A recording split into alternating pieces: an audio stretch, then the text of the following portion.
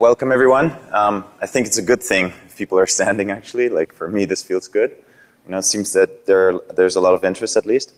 Um, yeah, I apologize already for the first error on the slides. Uh, of course, today is August 7th, but I, uh, yeah, I'm sorry about this one. Um, all right, so um, yeah, I'll talk about internet scanning just before we get started. Just a brief introduction here. Um, I think this slide is a little bit funny because the the Twitter handle over like the last two, three years moved up in this list. Like it used to be down there or maybe at the end of the presentation. And nowadays just so important, you gotta have it on top. But anyway, um, so I'm a security researcher at Rapid7, um, more concretely, more specifically in the labs team. And the labs team, uh, yeah, focuses on research and proof of concept development. So we're trying to help out internal product teams, but also doing, you know, a lot of research and development for the community, you know, pushing open source projects, trying to um, yeah, improve, improve uh, our tools and, and give you guys something to work with. Um, just apart from that, I'm also a developer for Cuckoo Sandbox. I hope that some of you have heard of it or maybe used it for some malware analysis, uh, some incident response purposes. So if you have any questions about that, um, feel free to come to me afterwards. Um, my background is a little bit more research on botnets, malware, so reverse engineering. My first talk was on uh, the Stormworm botnet in 2008. So that's where I a little bit come from. This project's pretty much different, but it's a lot of fun, and I hope I can, uh, yeah, deliver that message to you. Uh, there are lots of other smaller side projects. If you're interested in, in Android uh, security, then you might want to check out DexLabs.org, which is one of my projects um, from last year uh, honeypots, uh, you know, developing new data sharing protocols, all sorts of side stuff. All right.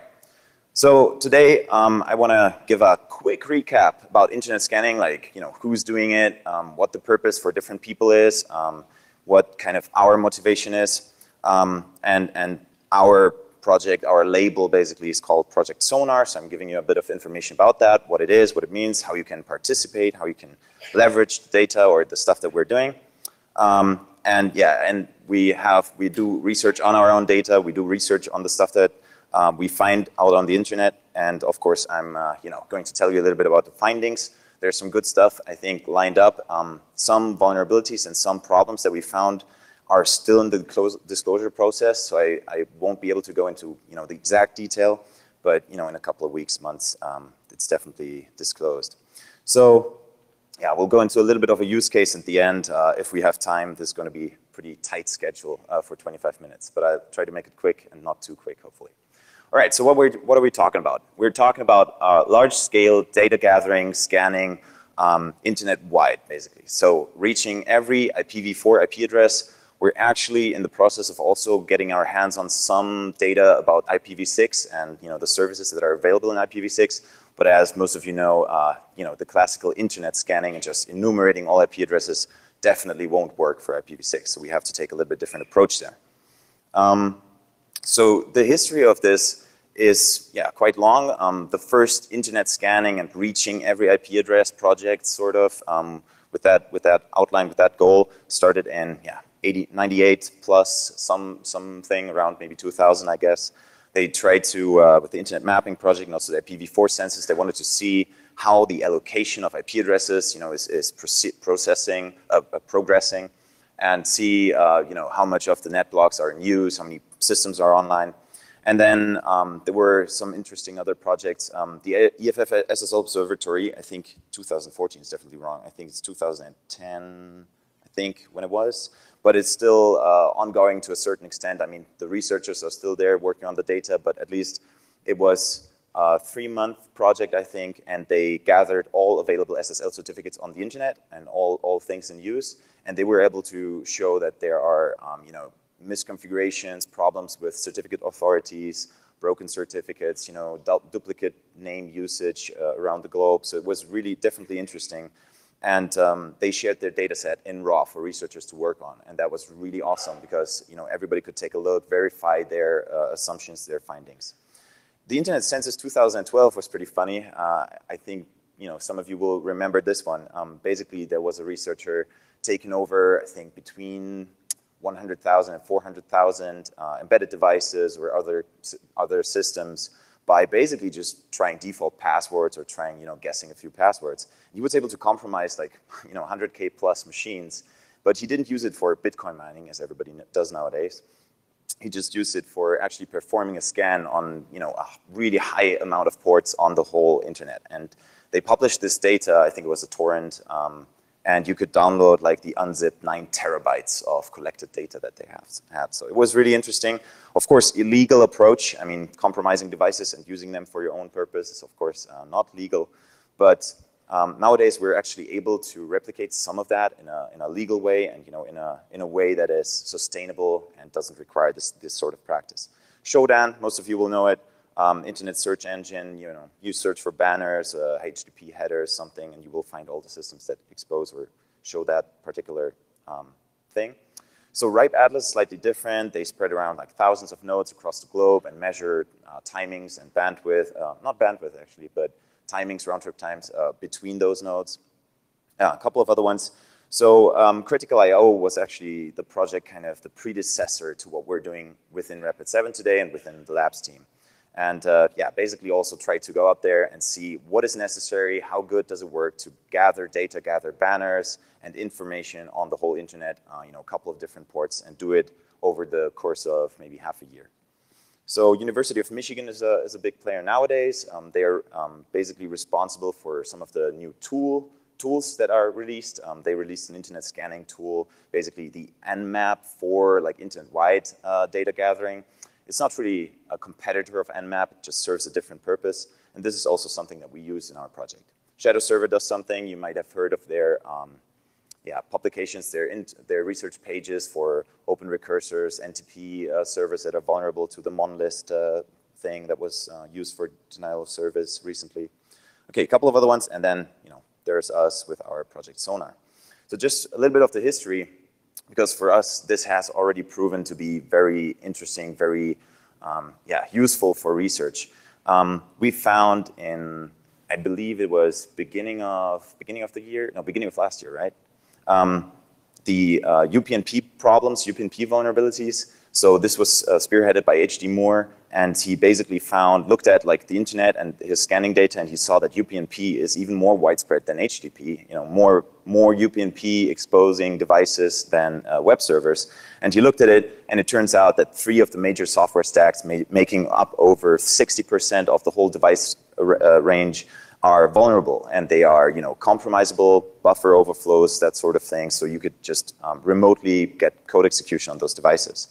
So this was very, like, very good finding. Um, lots of people um, started worrying more about that stuff, looked at UPnP, more research was done, and hopefully, you know, we were able to fix a couple of hundred thousand devices maybe, or at least lock them down maybe um, by raising awareness.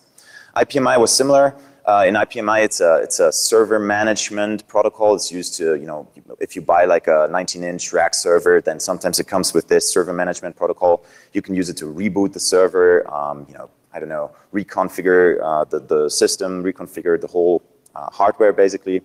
And it had a really nice vulnerability or like a kind of a misdesign um, it used authentication and encryption to protect like the, the, the login to this, uh, and you could just turn it off essentially. You could use the, the standard tool, tell it to say, you know, encryption none, and then it would just let you log in if you know a username. You didn't even have to use the right password. So that was pretty funny.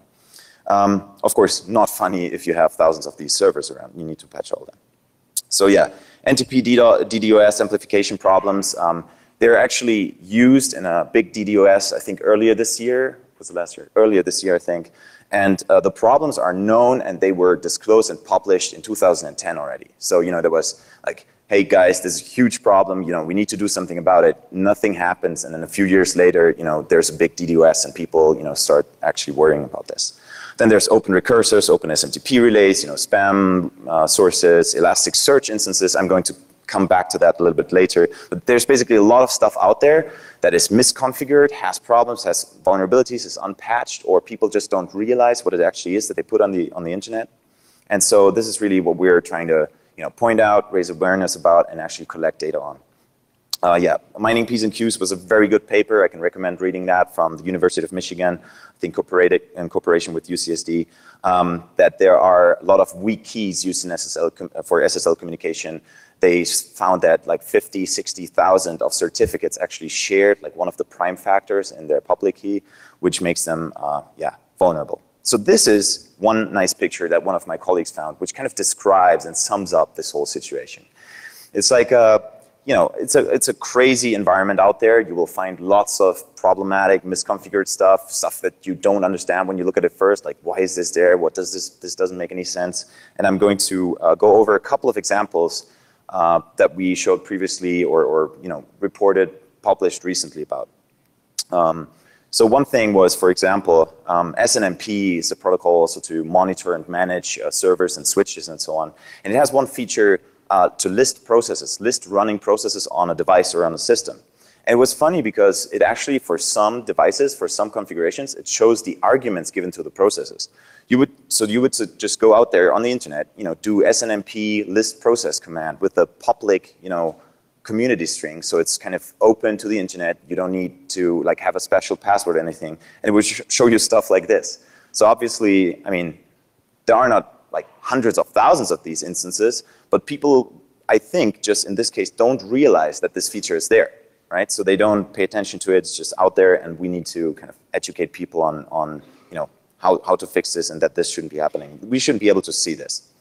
Um, you know, this goes on and on with other things. One, one thing is um, telnet shells, like if you connect to the telnet port on thousands of devices, they don't even give you a login, uh, you know, a login prompt. They just give you a shell right away. So you just connect, you know, just do telnet IP something, and you just are given a prompt, and then you can check what user user you are.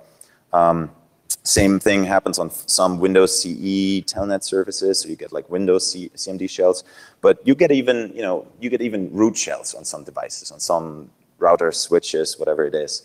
Um, and this is really, really weird. Like, right, why would it be in there? Is it, you know, intended? Is it just misconfigured? I mean, what is happening to those devices? Like sometimes we didn't really understand what was going on because it doesn't make any sense. Um, so this is what you find when you just go out there, collect data, just look at it, right? You don't even need to do any reverse engineering or anything. You just find sort of the problems and the vulnerabilities. Um, yeah, telnet other stuff. We found license plate readers and GPRS track, uh, GPS tracking devices. So, you know, there would be like lines and messages coming up, like we, we connect to it and just give us like all the cars driving by at a street, at a highway somewhere. So it's like, you know, you don't really understand what this is. It might not be a security problem. You know, that is up to the actual application or you know, dependent from case to case. But of course, this is, you know, we're curious and, and, and this is weird to us. This, this looks, I don't know, strange. Um, yeah, there was other research that we published on uh, so-called serial port servers, which essentially on one end have a serial port, on the other one, uh, end they have like a network cable, a Wi-Fi antenna, or like a even 3G uh, slot or SIM card, and you basically connect it to your server rack in your data center or something, and then you can configure it from remotely from home, which is convenient, nice. The problem is um, it's in a lot of cases misconfigured, these things have default passwords, and sometimes they don't even ask for a password. They just directly patch you through. So if you connect it to the serial port, the assumption is you're physically there, so you have access to the device, and you also have the author authorization to the device, right? But if this thing passes you through, like without adding some authentication layer, then you're just, yeah, as if you're next to the server. So this is something that we found um, lots of devices that, that are just exposing shells or, or um, you know, configuration interfaces. Here are some examples of that. So like we found some fuel control systems, fuel pumps that would have their configuration interface, uh, you know, public. You just connect to a telnet port or something else and just offers it to you. Uh, traffic light controls, um, IPTV systems. There was a points of sales device from a dry cleaning shop. You know, you could check out who cleans their leather jackets in that shop. I don't know. I mean, this is you might not, you might say, well, mm, meh, you know, dry cleaning shop, whatever. It's not, you know, it's not a big deal. But I think this is, it's not about the individual case. It's about the overall problem of this, right? I mean, the, the awareness or the, the, I don't know, the knowledge about what it means to connect one of these devices to your local serial port is not there. And it's, you know, you need to um, try to authentic, uh, educate people on this. All right, so get, let's get back from like the kind of ancient historic stuff like serial ports to something very recent and very you know up to date. Um, Elasticsearch is a is a search server, so to speak. It's like a little bit of a. It's like a database, but it's basically used for um, yeah, enabling search functions on forums, on websites, and so on. And uh, this is really interesting because if you if you do like development with Elasticsearch, or you have like a you know a staging server somewhere, and it maybe has not you know confidential data, and you think you know this is okay, you know I just use it from home, it's a temporary instance or something. You just put it on you know a Amazon instance, or just put it out somewhere and just open, and you use it from home. Now, okay, the data in there might not be that interesting, but by default, it allowed uh, so-called dynamic scripting, where you could essentially just execute code on the server. I mean, this is a feature of Elasticsearch. So you just upload Java or JavaScript uh, code and just runs it. So essentially, you know, you think you put up a database and you just use it from home or on the public internet. You want to look into the data, issue like normal API calls, but it's essentially just a shell, right? I mean, it's just code execution on a public port. So this is something similar, like where you don't really realize what the actual implications of, of this are to put this on a, on a public IP. Um, yeah, it's not the only example. It's the same for MongoDB and other you know, NoSQL, SQL DBs uh, without auth or def default passwords. Okay, so this all led up to, you know, this research led up to us um, starting this project called uh, Sonar. And it's basically trying to do this sort of internet data gathering, you know, this large scale data, data gathering on a continuous, um, you know, basis, on an ongoing basis. And we are trying to publish all the data and raise awareness about the problems and find more of these issues, you know, regularly. And not only do a project once, you know, go to a talk, um, I don't know, present some vulnerabilities and then stop, but we want to do this as kind of a community project. We want to, you know, have this ongoing and uh, hopefully for the next years. It's been running now, I think, for like nine months or so. It was announced at DerbyCon in, in 2013. Okay, so just a quick overview of what is currently in there. Um, we plan to extend this. Well, we started out by collecting SSL certificates from the internet. Then we added um, an HTTP GET slash against every IP address that, where we find a, a web server on. And you know, we grab the data, we grab the index page, the HTML that comes back, the server headers, and so on, and then we publish the data. Um, same for reverse DNS. So we do uh, biweekly uh, reverse DNS lookup on every IPv4 IP address. Um, you know, just put it out there. Might not be that interesting, you know, immediately to you, but if you like combine certain data sets and if you look into it, you know, there are definitely some interesting use cases for this sort of data set. Uh, we do forward DNS lookups as well. We compile like a huge name list and basically say, you know, give me like what is what is the IP address behind that name, or you know, we actually do any lookups which is essentially saying, give me a couple of records, you know, it doesn't matter which type. Um, and yeah, we, we, we have like, I don't know, millions and millions of, of these records, and it's all published, of course. Um, some of this is actually, like the forward DNS dataset, I think it's not automatically pu published, so I need to, I need to get back on that. Uh, okay, we do other SSL certificate sources, not only the, the web server, but we also look at mail servers, um, you know, IMAP and SMTP and so on, and we are adding like more things along the way.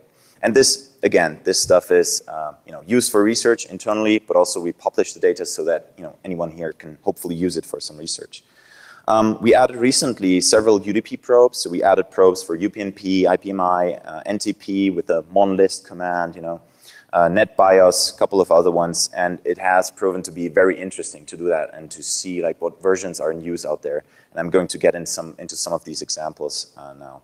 Just to give you a feeling of what this means in terms of data sizes and, and you know, um, amount of devices that are out there. Uh, for 443, so HTTPS, um, we find about 40 million open ports, um, roughly 25 million SSL certs in use at the same time. And this is because a lot of the big, large hosters and you know Cloudflare and so on, they have basically a million of IPs with the same SSL cert. So um, it's a bit less than open ports. And it's roughly 55 gigabytes of data uh, collected in a little bit less than four hours. And we do this every week, right? And then it's um, reduced and kind of made up for, or like processed and then uploaded and published. Um, yeah, for HTTP, it's a little bit bigger. Um, we grab like uh, the HTTP index page, um, results in like a biweekly data set of 220, 230, 40 gigabytes, and uh, you know, roughly 60, 65 million uh, web servers are in this data set for every uh, two weeks. Reverse DNS, more records, less data. So it's less data again than HTTP, but of course it's on reverse DNS around a billion, uh, 1.1 billion devices or IP addresses have a reverse DNS uh, record associated with them. All right. Um, let's continue a little bit into the recent findings because, uh, you know, I, I got to be fast today. So recently, uh, one of our guys, Jon Hart, he looked at um, network address translation port mapping, which is yeah, called NAT-PMP. It's a protocol that is, um, it maintains port mappings, mappings on NAT devices. So typically um, used to control like, or, or, or enable certain uh, software or, or, devices to talk to others on the on the internet, map ports uh, from the outside back. So I think this was used for voice over IP or, or Skype, you know, uh, some other some other protocols, and over a million of um, devices expose this service on public addresses on the internet. And this is, I mean, our our assumption or, or like the our understanding of this is this is used for internal networks, like from the inside, to control how the network address translation operates, and you know change its behavior, add some port mappings. But it's actually exposed on a million devices to the internet. So you can use the service from here, right? You can use it remotely, which is interesting because it's not really meant for that. And you know, it's either um, on these devices probably in deployed incorrectly, it's some misconfiguration, or it's more likely that they just suffer from vulnerabilities in the implementation. I mean, they're just available even though they shouldn't be, right? And this allows you basically to open ports from the outside to all kinds of internal devices behind the, the router, which you think normally is kind of a firewall for you, right? It, it doesn't allow people from the internet to reach your like local iPhone, but actually, you know, due to NAT-PMP, we can sort of, like this is, this is a problem because you can actually reach it. So yeah, so this is one of the things. Um, this is still ongoing research. Um, I don't believe we have a white paper on this one out yet, but um, yeah, it's sort of ongoing and it's really interesting and we're kind of uh, putting it together in a, in a nice form for you to also um, you know, look at them. MS SQL is another one. Um, Microsoft SQL Server has this UDP port where it gives you metadata about the database server, such as is it a clustered instance, is it a single instance, you know, what kind of version is it running. So we send a probe to this port and we get all the uh, version information about these servers. And if you then map that to the vulnerabilities that are known about Microsoft SQL, you will find that there are, you know, 10,000 to up to 40,000 of Microsoft SQL servers that have just you know CVE identifiers basically um, for that particular version, and they're just in use and they're on public internet ports, right? So most of these will be immediately compromisable if you use something like Metasploit or something else, which is a issue, right? I mean, this shouldn't be out there anymore, and especially not for CVEs from 2011. I mean, if someone you know didn't patch their UPnP from last year, okay, maybe it's you know Maybe they didn't pay attention to it. But this is really old kind of deployments. And this shouldn't be out there anymore. And I feel bad when I see that this is, you know, we see this so often in our data sets. Um, I looked a little bit at DNS names. Uh, this is probably not so interesting. It's not really a vulnerability. But this is, it gives you a picture of what happens or what you look at when you look at this data. I mean, you, you collect data and you look into the actual content, into the, the, the, the traffic that you get, into the uh, data that you get and it's just weird sometimes. Like there are um, DNS records that don't use the format that is normally you know, uh, defined in the RFC or something for the server record, for example, uh, SRV record.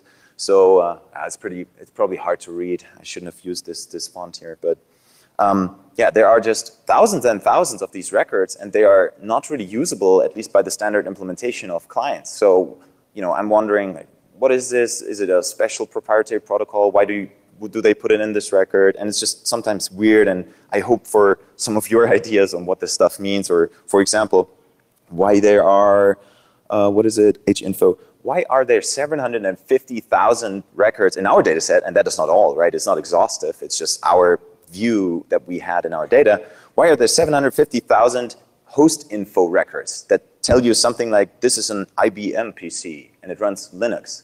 Why is that in a DNS record? I mean, I don't understand. What is it used for? Is it used for nowadays by some application? Is it, I don't know what it is. Um, lots of location records where there's a, uh, basically a GPS location assigned with a domain name. I didn't really know that existed. I, I don't even know what it's used for. Oh, I'm, I'm over time already? No. Yes? Okay. I didn't, I didn't notice that. All right. So basically, there are a couple of other ones on these. Um, I need to finish up, but um, the, the, the point is, yeah, we have NTP Monlist was, was another one. We also collect data on that one.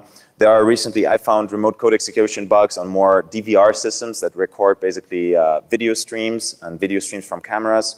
So there are just many more of these findings, uh, these problems out there, and we basically need to change the way that we look at this data and we need to improve on fixing and actually patching our systems. I mean, you know this for embedded systems, but it's not only true for embedded systems. All right, let's, let's go, let's skip the live demo. If any of you guys want a live demo on our data and look into it, um, come to me afterwards and we, we get that done. Sorry about that. Um, the data is on scans.io, this URL here. Uh, check out the slide set. Visit the webpage. You can just go to the website, download the raw data sets, and we'll uh, soon also have an API and kind of a lookup, a search interface. All right, this is how it looks like. Doesn't matter. So the internet is broken. This is my summary slide. Um, yeah, we need to we need to tackle this a bit better, and we hope that our scanning and our data is one of the tools to actually tackle that problem and actually hopefully improve a little bit on the scale that we're fixing things. All right? So uh, yeah, the ZMAP guys, a couple of references, and then thanks for listening. If you have any questions, if you want to check out the data, please come to me afterwards.